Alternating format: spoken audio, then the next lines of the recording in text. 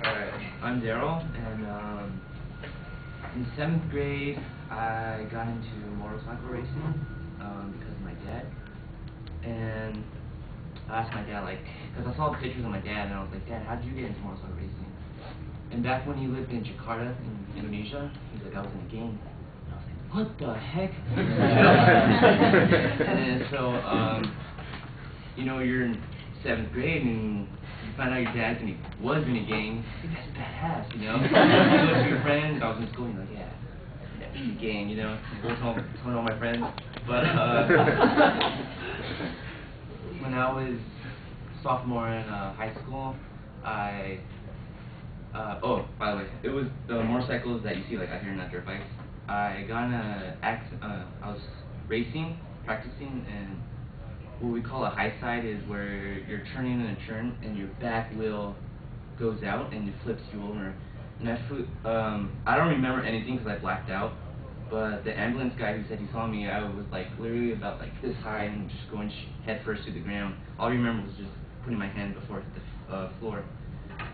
So after that, I quit from motorcycle racing and I got into uh, badminton. And um, I played it in high school. That's when I was first introduced to PE.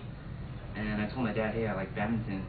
And then he's like, uh, well, I was in badminton too. Were you gang in badminton too?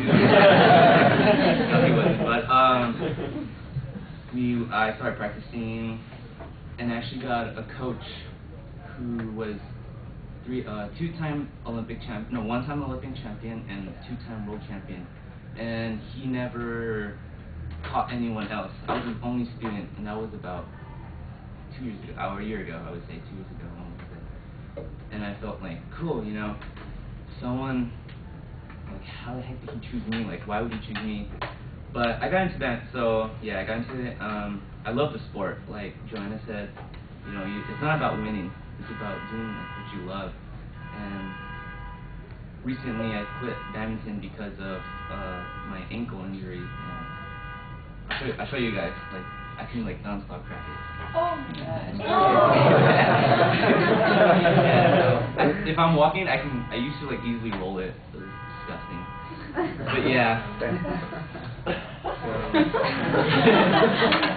Yeah, that's my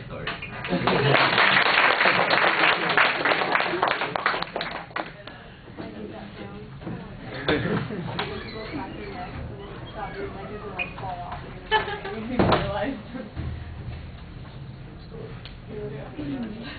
your neck. I think it will all the way down your spine.